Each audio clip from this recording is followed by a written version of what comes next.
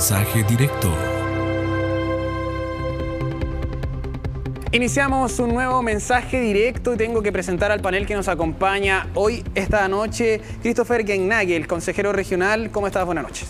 Muy buenas noches Matías, muy feliz de estar acá en el programa informando diferentes situaciones, aconteceres que están pasando en el gobierno regional y también que todas las personas que están viendo el canal, el programa a esta hora se puedan interiorizar. Bueno, lo acompaña Leónidas Peña, consejero regional también, ¿cómo está? Buenas noches. Eh, muy buenas noches Matías, Peñas Enrique, si no mi viejita que está en el cielo me va a tirar la oreja, así que siempre me decía, tenéis que nombrar tu segundo apellido porque yo fui la que te di Peña Enrique, entonces, para que no, no, me rete a mí tampoco, lo dejamos al tiro, al tiro claro. Bueno, ambos son de la provincia de Arauco. Correcto. Hay una situación que ha generado bueno, bastante revuelo a nivel nacional, que es el proceso de reconstrucción. Ya los incendios forestales van en baja, hay un tema con, eh, por ejemplo, qué va a pasar con eh, la educación de estos colegios, qué va a pasar con la reconstrucción en general. Primero te doy la palabra, Christopher. Bien, Matías, tú has mencionado eh, puntos muy exacto.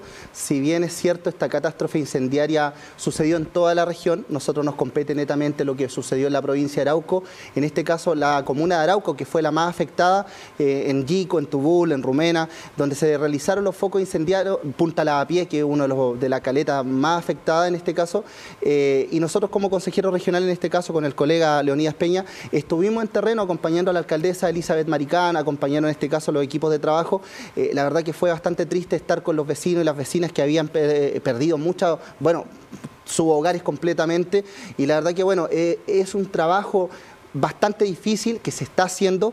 Debo decir que hoy día el gobierno regional, eh, a través de nuestro gobernador Rodrigo Díaz Werner, ha asumido una tarea importante ayudando al gobierno central, por decirlo de alguna forma.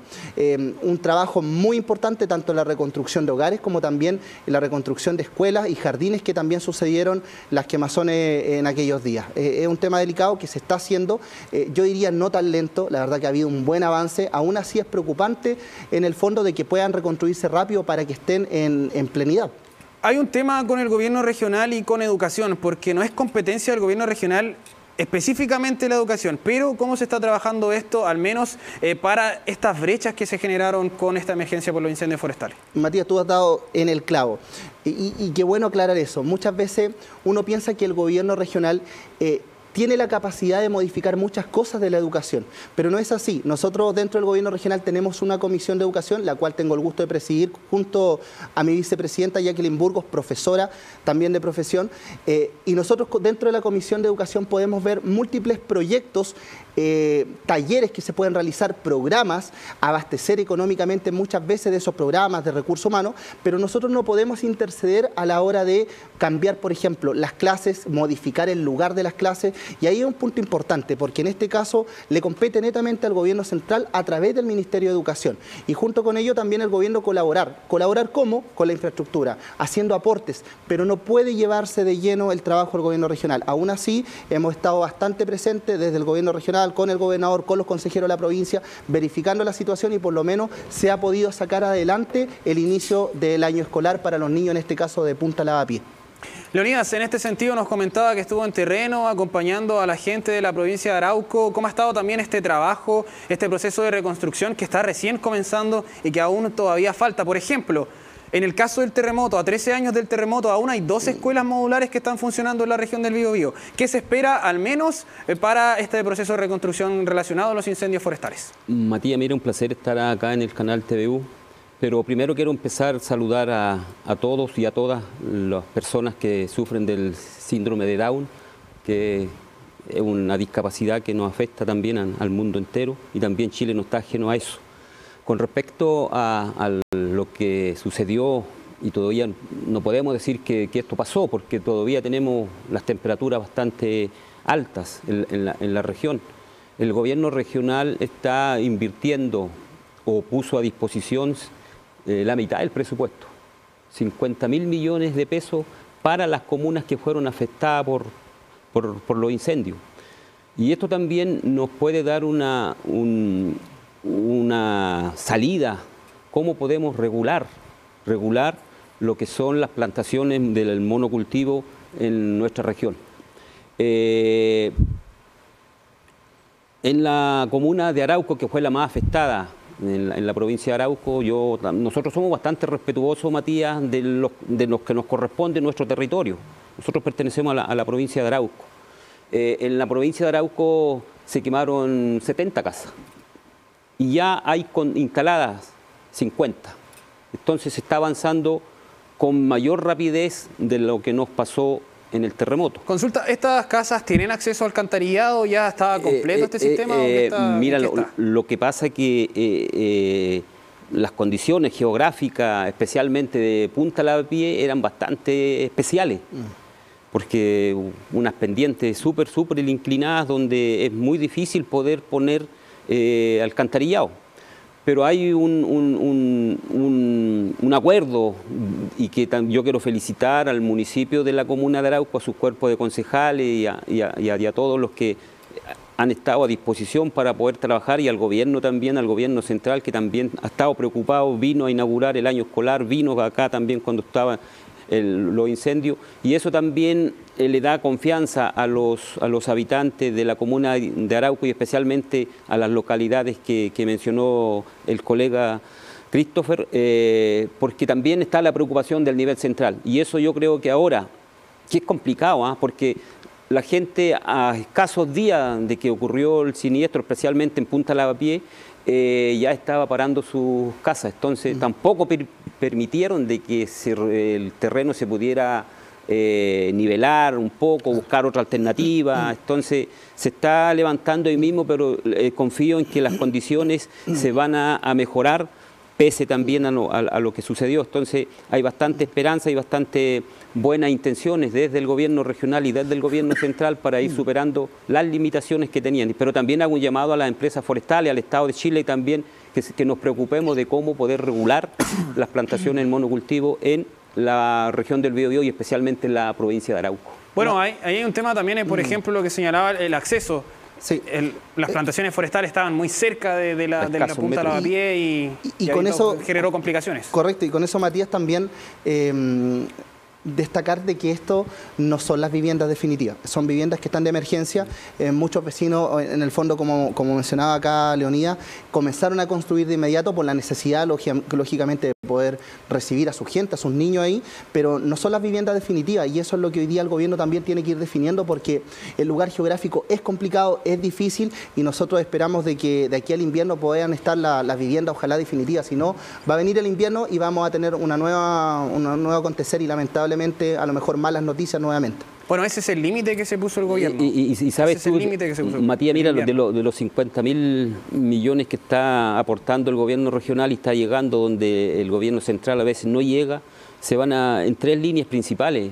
Maquinaria pesada para que mm. tengan una, una, una, pronta rapidez cuando ocurren este tipo de siniestros con maquinaria pesada, ya sea con, con motoniveladora, con algún skidder, con, maquinaria pesada para ir abriendo los espacios y los caminos para proteger a las, a las viviendas. También en la parte social va a ir ayuda directa a los municipios. Entonces, el gobierno regional, y aquí tenemos que ser bien eh, transparentes, Matías, yo creo que eh, nosotros somos un cuerpo colegiado, pero, pero no politizado porque nosotros, nuestras competencias no, son bastante limitadas y todas las propuestas que llegan desde los municipios, eh, los 28 consejeros eh, siempre las aprobamos. Y cuando el, gobernador Rodrigo Díaz dijo, vamos a, si ustedes están de acuerdo, el Consejo en pleno, eh, poner 50 mil millones de pesos, nadie se negó a poner esta mm. cantidad de plata, dejando muchas cosas que, eran, que estaban proyectadas en estos dineros, dejarla a un lado, porque la prioridad eran la gente que había sido afectada por los incendios forestales.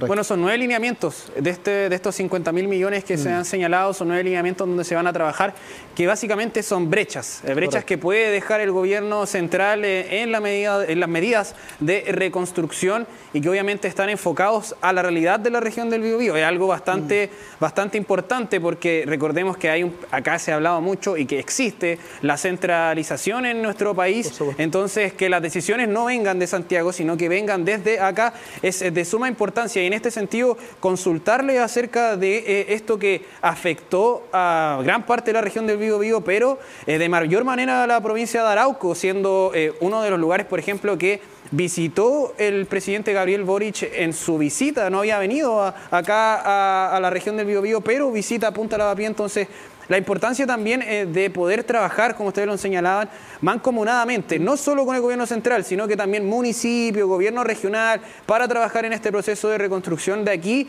a mejorar lo que había antes, que es también una de las consignas en su perspectiva y en el trabajo que se ha hecho, ¿se llegará a lograr en algún momento esto, mejorar las condiciones que habían antes en las localidades y poder eh, avanzar al menos en este sentido? Yo creo que el discurso siempre del gobierno regional, a través de su gobernador, los consejeros, ha sido que el gobierno regional pueda llegar a, los últimos rincones donde el gobierno central no puede. Yo creo que ese es el primer objetivo de este gobierno regional, tratar de cubrir esas brechas, como bien mencionabas tú.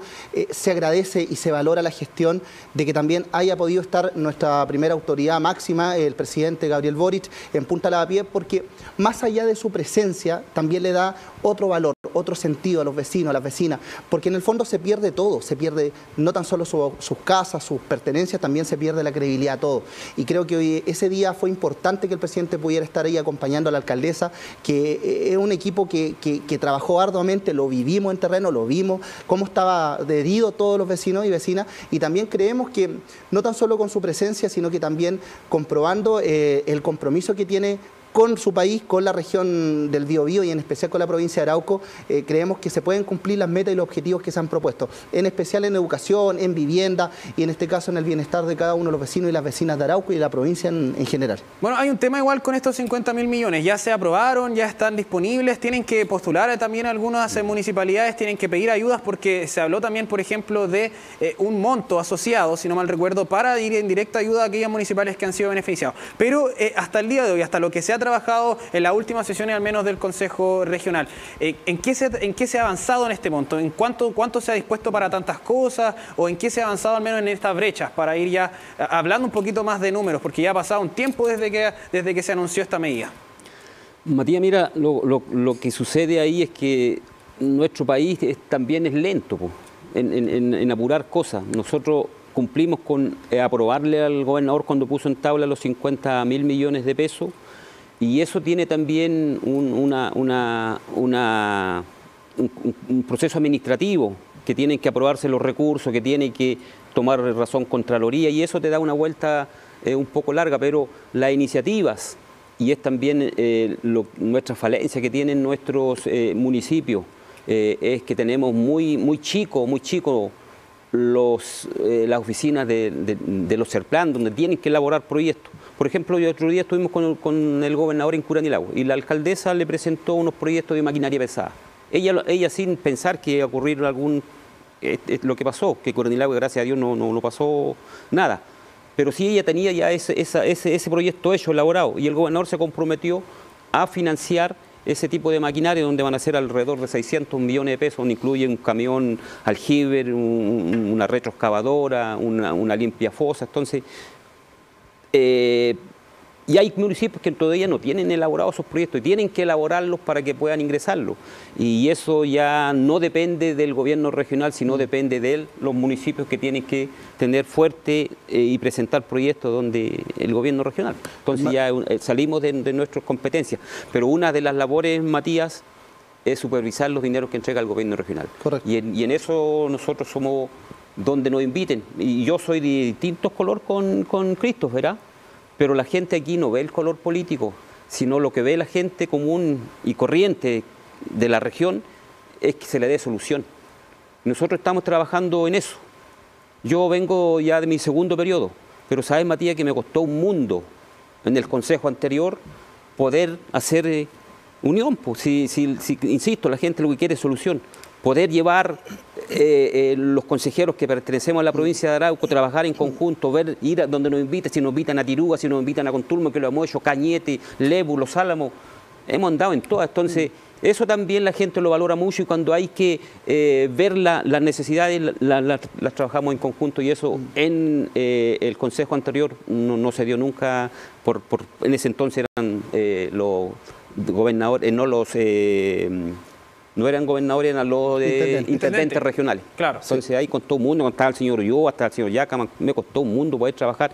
La señora Flor Valle era la presidenta del CORE, un mundo pues. Pero ahora eso cambió y tiene una mirada distinta al gobernador regional. Los colegas de la provincia igual estamos trabajando en conjunto, pero tenemos que ser honestos.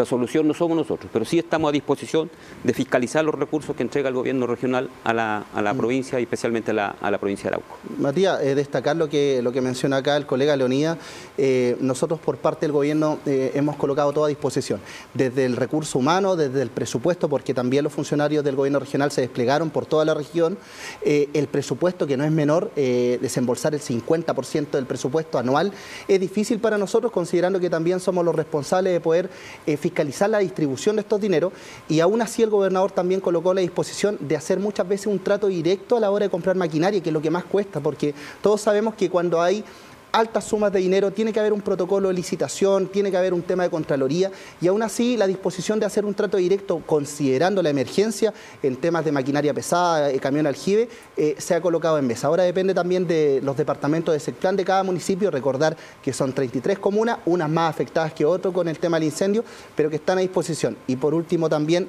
terminar esto, Matías, Leonidas Peña es un hombre ya con harta experiencia, eh, no quiero decir que es viejito. no, no, lo mateo. Es, un hombre con mucha experiencia. Eh, experiencia, experiencia, recorrido, trayectoria, Por supuesto, una, una, trayectoria política impecable. Él, él, fue concejal, bueno, él no lo menciona, pero él fue concejal 12 años en Curanilahue, tiene candidatura a alcalde, hoy día su segundo periodo de consejero. Entonces, es una persona que puede hablar con, con derecho en, en decir las vivencias que ha tenido. y, hoy día eh, somos partidos políticos totalmente opuestos, o sea, un partido comunista y un renovación nacional. Y la verdad que, bueno, nos llevamos muy bien a la hora de trabajar. La gente, como bien menciona Leonidas, no ve el trabajo políticamente, sino que ve cuántos recursos podemos llevar a nuestra provincia. Y si nos vamos a la estadística, no quiero que se me vayan a sentir los colegas de BioBio, siempre la provincia de Arauco era tercer lugar en todo, desde el recurso y todo. Y se entiende porque muchas veces la distribución de los recursos es de acuerdo a la cantidad de habitantes, la cantidad de comunas y la cantidad también de consejeros. Todos sabemos que Concepción tiene 12 comunas, tiene 18 consejeros distribuidos en tres eh, ciclos, digámoslo así. Eh, Bio, tiene 14 comunas y tiene 6 consejeros. Y en este caso, eh, Arauco tiene 7 comunas y 4 consejeros. Y aún así, este año que pasó, hemos logrado hacer un muy buen trabajo dejando a la provincia de Arauco en recurso económico en segundo lugar, desplazando a Biobío, que siempre fue segundo por la cantidad de comunas. Y eso también habla bien del trabajo que hemos realizado. hay una mesa donde nosotros trabajamos eh, las comisiones, en el Pleno, y esa es una mesa política. Y en esa mesa política es donde se discute la idea, donde se discute la diferencia de opiniones, donde se discute política. Pero después de esa mesa, nosotros tenemos que trabajar mancomunado para la comunidad, para los vecinos, y creo que así se ha hecho. Y esa es la diferencia que hoy día estamos provocando en nuestra provincia de Arauco.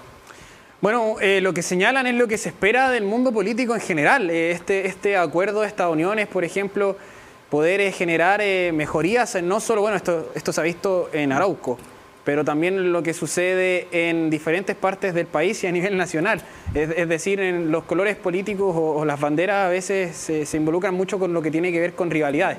Una situación que, que no le hace bien al país y que como lo podemos ver aquí plasmado, en Arauco se está trabajando de forma distinta y sobre todo también, bueno, esta emergencia ha generado también una situación bastante distinta, es decir, muchos sectores políticos se unieron en pos de lo que tenía relación con, este, con esta situación que fue completamente fuera de lo normal. Es decir, habíamos tenido incendios en 2017, 2016, pero esto ya se escapó de toda norma. Es decir, la cantidad de hectáreas dañadas, la cantidad de familias dañadas, viviendas perdidas, personas que, que, lamentablemente perdieron a familiares, que ya no van a poder volverlos a ver nunca más debido a esta situación. Entonces, la gravedad del asunto también requiere que comencemos a trabajar de forma más mancomunada. Bueno, y para eso también quería consultarle acerca de estas situaciones, ustedes lo señalaran, cómo ha sido también el trabajo de estas comisiones, no solo en la provincia de Arauco, pero sino también a nivel regional, en trabajo específicamente para incendios forestales, pero también le vamos a agregar un detalle, la seguridad. Mira, Matías, la seguridad si nos vamos a, lo que sucedió, yo creo que también el Estado aquí, y lo dije al inicio de esta conversación, que también tenemos que regular eh, las plantaciones forestales. Eh, hoy día en la Comisión de Medio Ambiente fue a exponer el, director regional de la CONAF, y donde la ocurrencia de más alto índice de incendios eh, es donde está el perímetro de la comuna rodeado de puros árboles, ya sea eucalipto o, o pino. Entonces eso también nos da un, índice que tenemos que el Estado de Chile poder regular.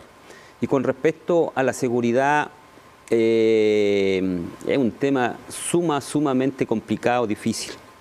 Eh, en nuestra comuna, en la provincia de Arauco, y uno que ha nacido y criado ahí en Curanilagüe, eh, no estamos ajenos por ser una comuna chica, donde a lo mejor desde Concepción se dice, no, es que allá no pasa eso. Pero, y hay, otro elemento, ¿ah? hay otro elemento de que eh, si retrocedimos tres años atrás, antes de la pandemia, la gente eh, en, la provincia de Arauco, hablo en general de las siete comunas, se desplazaba 10, 11, 12 de la noche, los días viernes especialmente. Pero ahora ya a las 7 de la tarde, 8 de la tarde, ya no, tú no veías a nadie en las calles, no solamente en la provincia de Arauco, la, vemos a nivel, a nivel país. Y eso yo creo que la calidad de vida de, los habitantes a nivel país eh, va en desmedro porque eh, no tenemos la libertad que, debiéramos tener.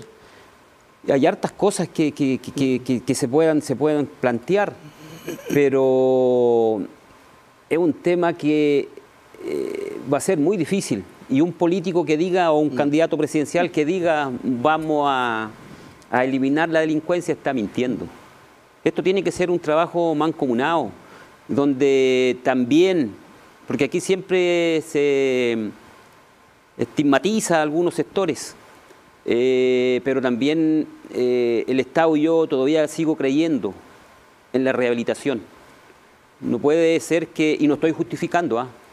Jóvenes de 15, 12 años, eh, ingresarlo a la cárcel es como que fueran a la universidad. Yo creo que también tenemos que tener centros de rehabilitación para que los, jóvenes, especialmente, hay gente que no tiene solución y tenemos que ser así fríamente. Tienen que estar en la cárcel, tienen que estar. Pero también tenemos que hacer los, esfuerzos de poder también tener centros de rehabilitación donde podamos rehabilitar algunos de estos jóvenes que están perdidos, muy jóvenes, 12, que lo vivo, que yo vivo en un sector bastante popular en la comuna de Curanilagua y van a golpearme 2, 3 de la mañana ¿Qué, pueden hacer con su hijo? Y, están con el, con el, con el, con el joven ahí, que quiero salir, pero ¿cómo lo hago? No tenemos centro de rehabilitación. Entonces a veces estigmatizamos algunos sectores, mm. especialmente poblaciones, y, y, el Estado también tenemos que trabajar en conjunto con las policías, el Estado, con la Junta de Vecinos, en general ustedes que son un, medio de comunicación importantísimo para la región, también podemos hacer trabajo en conjunto. No digo que, que mañana, hoy día y mañana ya va a estar superado eso, no, es difícil y complejo en los tiempos que estamos viviendo, pero yo creo que hay que sentarse a, pensar y a trabajar en temas que vayan avanzando en este tema de la seguridad. Matías, eh, justo eh, complementar un poquito porque tú mencionabas también el punto directo del tema eh, forestal, seguridad y el tema incendiario. Yo creo que ese es un punto que no nos mantiene ajeno. Todos sabemos que la provincia de Arauco, el fuerte de la provincia de Arauco es el tema forestal, es el tema agrícola, ganadero y por qué no turístico, a pesar que eso ha disminuido en el tiempo por los diferentes incidentes que han sucedido. Pero aquí hay un punto importante. Eh, yo no soy defensor de las forestales.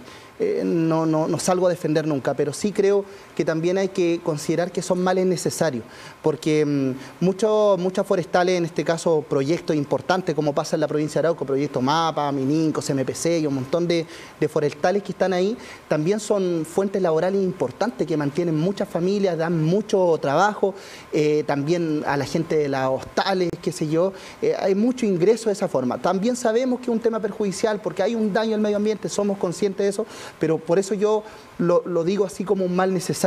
Pero aún así, como bien dice Leonida, eh, yo creo que el punto de poder trabajar mancomunado, buscar soluciones, porque así como también hay un daño al medio ambiente, también hay algún tema de reparación o de vuelta de mano. Y eso es importante porque aquí gran parte de, los daños primero se los lleva las viviendas, las familias, y hoy día en medio ambiente mencionaba el leído recién, estuvo eh, con AF viendo el tema de los brigadistas y también corren riesgo, son vidas que se están jugando y que en el fondo a lo mejor se podría prevenir en que las cortinas de pino no están tan cerca de las viviendas. Bueno, todo converge, todo converge en este tema de seguridad porque no solo es la seguridad civil del transcurso del día a día, de la rutina, sino que también en este sentido de la seguridad estar en su propio hogar. Es decir, no estamos ajenos a los incendios forestales. En cualquier momento puede volver a ocurrir uno, tal como se vio acá eh, en la región del Biobío, también en la región de Ñuble y en la Araucanía. Entonces, ¿qué tanto estamos preparados para poder efectuar cualquier tipo de ayuda a estas personas que están conviviendo con una forestal a un costado o que tiene cierto perímetro menos de resguardo, pero también, y aquí vamos, antes de ir a la pausa, les voy a dejar esta pregunta planteada, ¿cómo solucionar el tema de la seguridad dentro del Gran Concepción, donde se incluye Arauco? Hablamos de en los servicios del transporte público, en las mismas comunas. En todo esto, ¿cómo se puede solucionar esto en materia de seguridad y en qué se está trabajando al menos en el Consejo Regional a la vuelta de esta pausa?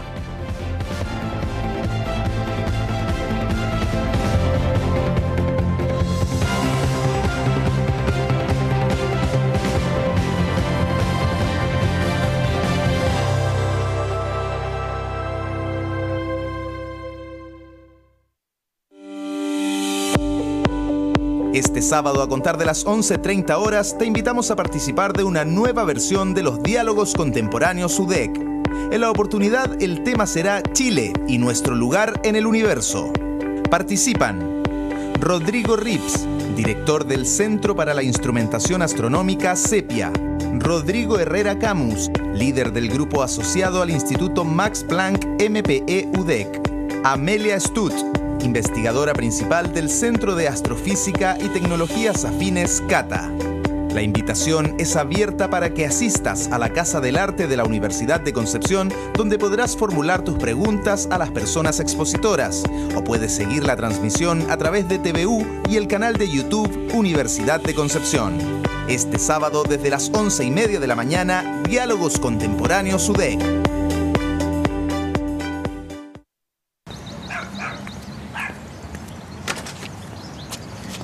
Hija.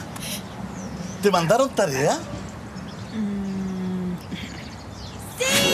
Esta vuelta a clases, cualquier excusa para usar Mundo se celebra. Cámbiate a la internet fibra más rápida de toda Latinoamérica desde solo 14,990 pesos en tumundo.cl o llamando al 600 9100 900. Mundo, tecnología al alcance de todos.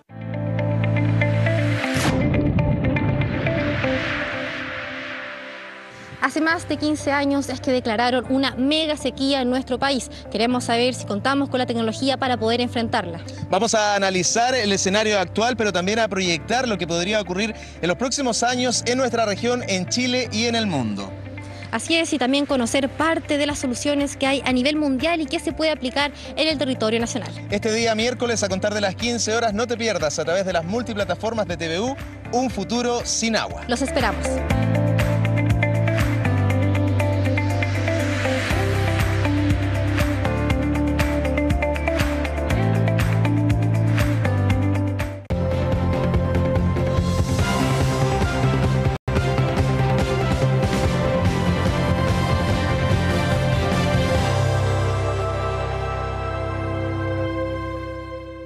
Nosotros seguimos aquí con este panel que nos acompaña esta noche, Christopher Gengagel, consejero regional, y también lo acompaña Leonidas Peña, consejero regional. Y vamos a conversar acerca del siguiente tema. Dejamos atrás los incendios forestales, que también tienen mucha relación con la seguridad, pero ya entramos más que nada a lo que tiene que ver con los últimos acontecimientos, esta sensación de inseguridad en las calles eh, que, tiene, que se ha visto en las últimas encuestas. Eh, ¿Cómo ha afectado esto a la provincia de Arauco? Sabemos que allá tienen un problema con el robo de madera. ¿Cómo ha estado la situación de esta aplicación de la ley, de esta entrada en vigencia y cómo ha sido también el trabajo que se ha realizado en el sector? Bueno, el tema de la delincuencia es un tema de no acabar, Leonía lo mencionaba recién, si no se hace un trabajo mancomunado con los municipios, con, el, con organismos, con, el gobierno central o el gobierno regional, es difícil terminar con, con, aquello, no tan solo con delincuencia, con el robo de madera, sino que también el tema, el tema del alcohol, drogadicción, robo, asalto, muertes y un montón de cosas que han sucedido este último tiempo en la provincia de Arauco. Uno de los puntos importantes, como bien mencionas tú, hoy día el tema del robo de madera. Eh, yo debo decir personalmente que muchas veces este robo de madera tiene ensuciar algunos conflictos algunos conflictos de pueblos originarios, como todos sabemos con el conflicto mapuche, ensucia muchas veces el robo de madera a, la etnia mapuche. Eh, muchas veces son organismos totalmente de personas que están elaborando, empresarios, qué sé yo, que se han organizado para hacer un robo de madera, para hacer un lucro o en este caso para robarle directamente a la forestal y se tiende a ensuciar personas que no corresponden. Eh, es un tema que, se tiene que abordar, creo que hoy día eh, el gobierno central a través del Congreso, con los senadores, diputados, han hecho una ley importante que en el fondo se está aplicando en nuestra provincia de Arauco. Eh, cuesta un poco porque todos sabemos que hay eh, disminución en este caso de personal de carabinero y todos también sabemos que carabinero hoy día no tiene la misma autoridad que tenía años atrás y, no, pasa directamente por este gobierno, eh, viene desde el gobierno de Sebastián Piñera donde ya se le había quitado bastante autonomía y autoridad a carabinero y a las Fuerzas Armadas en especial de Chile, entonces las fiscalizaciones se hacen eh, difícil, son más lentas, pero aún así yo debo decir que dentro de la provincia de Arauco se ha estado realizando el procedimiento, la ley del robo de madera se ha estado aplicando, no a lo mejor en un 100% porque como te menciono, hay diferentes factores que lo hacen difícil, pero sí ha sido efectiva han habido detenciones de camiones con madera robada, ha habido personas detenidas, han habido en este caso procedimientos que han sido exitosos en esmero en este caso de la seguridad y la justicia, por lo menos en la provincia de Arauco, Matías. Bueno, y Leonidas nos comentaba que usted vivía en un sector popular, que mucha gente se le había acercado para conversar acerca de esta situación de la delincuencia de cómo poder sacar a los jóvenes de esto, pero eh, ¿qué también le han comunicado? ¿Cómo se han sentido ellos con respecto a esto? ¿Han, sentido que hay un aumento o se sienten más inseguros? ¿Qué le dice al menos la gente de su comunidad? Mira, em, bastante, insisto, bastante complejo el panorama, eh, sigue en aumento. Días atrás, en un lugar Cerro Alto, que tiene, no tiene más de 4.000, 5.000 habitantes, van cinco muertos apuñalados, tirados en, las calles. Entonces, eh, eso también algo tiene que eh, decir eh, y algo también, alguna resonancia tiene que tocar a, los órganos que, deben trabajar en, este, en esta línea. Eh, y aquí no hay, no hay, Matías, compasión con nada. Si hay un adulto mayor, eh, si lo pueden hacer daño, se lo van a hacer. Si hay una persona en situación de discapacidad, se lo van a hacer. Entonces nadie está libre, libre de esto. Eh, nosotros como, como, como, consejeros son muy pocas las, competencias que, que nos entrega el, Estado de Chile y por eso estamos trabajando fuertemente que, que haya una descentralización de, nuestro país y que los consejos regionales tengan más, más atribuciones. Eh, para poder enfrentar y que se pueda hacer una inversión directa en rehabilitar, en, tener eh, profesionales que combatan un poco el tema de la drogadicción, el alcoholismo, especialmente en la, en la, provincia de, Arauco. Pero también tenemos que, mira, aquí se han hecho hartas cosas para poder eh, que eh, el robo de madera eh, pueda desaparecer y, encuentro que, está bien, pero también hay otros robos que también deben de, enmascararse. No sé quién está vendiendo droga, quién está vendiendo mm. pasta base. Entonces, no solamente ataquemos el tema del robo de madera. los que vivimos en la provincia de Arauco, sabemos que de otra forma, de otra forma, en los crudos inviernos que, tenemos en la provincia de Arauco, no hay otra forma de calentarse con leña. Pero no lo estén eh, prohibiendo que se compre un, gente que vive de esto, que va a los desechos que tienen las empresas forestales, que yo no estoy en contra de ello, pero hay que regular. Y yo entiendo que, hay, que le dan trabajo a trabajadores a cinco mil y tanto, pero el Estado tiene que regular algunas cosas. Entonces, no nos pongan que hay que comprar, eh, ¿cómo se llaman estos palitos chicos que, venden ahora? Que, eh, no, unos chiquititos que venden en los supermercados ahora, el, ¿cómo se llama? El pele. El pele.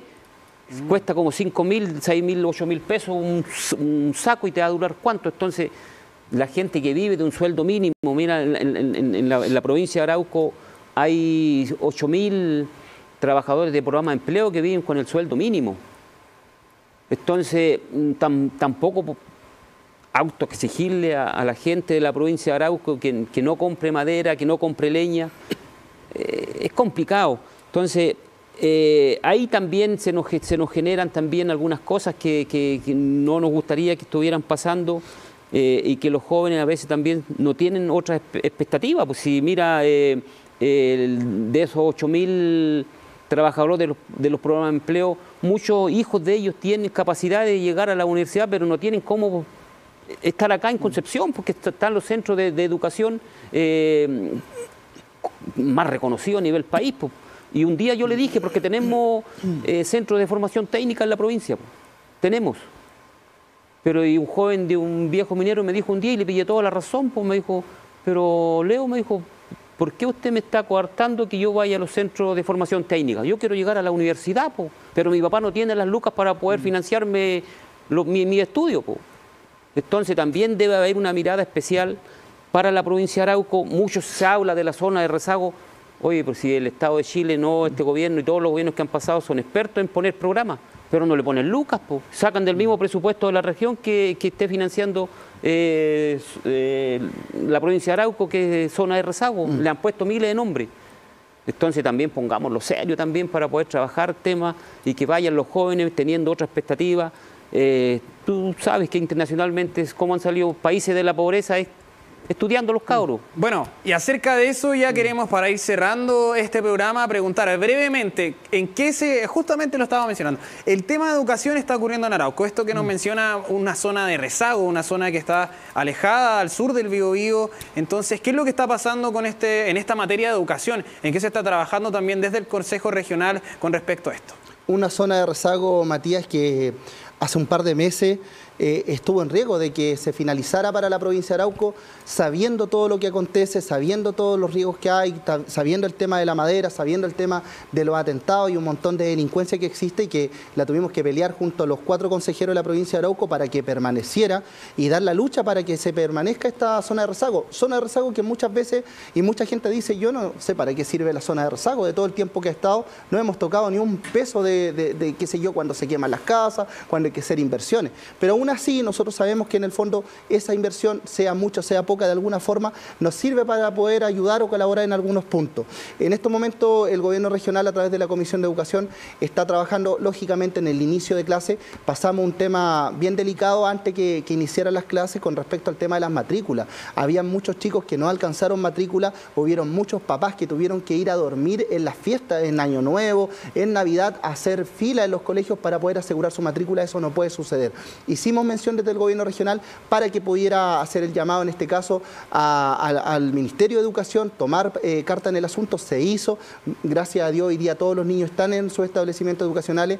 Hay un punto importante también, Matías, que es el tema del FAED, estos fondos de dinero que en el fondo en algún momento tiene tope el 2025 que tienen que terminar, fondos de dinero que se ocupan muchas veces para poder costear transportes escolares que trasladan niños que vienen de los sectores rurales a las ciudades a estudiar. Es un, es un tema delicado. Recordar que también los departamentos de educación van a ser eliminados y se tiene que armar esta corporación, este sustento, que como pasa en Concepción, que hoy día está el tema de la Corporación de Educación de, de Entonces, es un tema, hoy día eh, el gobierno regional tiene que citar a la Seremi Elizabeth Chávez al trabajo de Comisión de Educación para resolver dudas, para ver inquietudes de los consejeros que tienen que ver directamente con los estudiantes, con los recursos. Bueno, Leonidas, también brevemente, por favor, eh, ¿qué se está trabajando para las personas en situación de discapacidad? Mira, días atrás se, invitó para formar la mesa eh, en el gobierno regional y se va a crear una una unidad y donde esta unidad va a tener recursos, va a tener eh, un trabajo mancomunado con las orgánicas de la región del Biobío Independiente de eso, que todavía está en desarrollo, eh, también el gobierno regional está haciendo inversiones. Hace meses atrás se le entregó a los servicios de salud, eh, por ejemplo el de eh, la provincia de Arauco se va a entregar 600 millones para ayudas técnicas que vayan apoyo, también se está trabajando con el FOSI, donde el FOSI también el, gobierno regional le traspasa recursos para que los emprendedores de personas en situación de discapacidad puedan emprender una, pyme.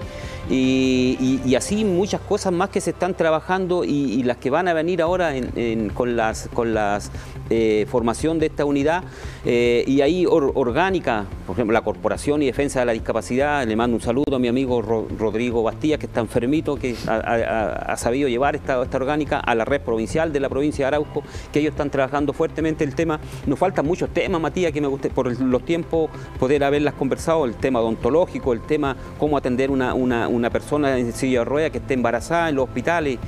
Hay muchas cosas que tenemos que conversarlas, Matías, pero faltan los tiempos y que, te, agradezco sí, que, estés preocupado y, que nos hayan invitado a este, a este canal de la, provincia, de la región del Biobío. Perfecto. No nos da el tiempo, pero esto. tiene que ser 10 segundos, pero un minuto, simplemente eh, difundir a los vecinos y vecinas que puedan postular a los fondos de FNDR 2023, que están del 20 al 31 de marzo. Eh, muy buenos fondos eh, de unos 5 millones de pesos y viene totalmente de perilla esta, estas luquitas para la agrupación. Bueno, Christopher Leonidas, muchas gracias por venir y estar con nosotros esta noche. Y nosotros de esta forma vamos terminando esta jornada. Obviamente le queremos invitar a que a través de nuestro sitio web y la multiplataforma de TVU pueda ver esta y toda la programación del canal. Y por nuestra parte le deseamos que tenga una muy buena noche.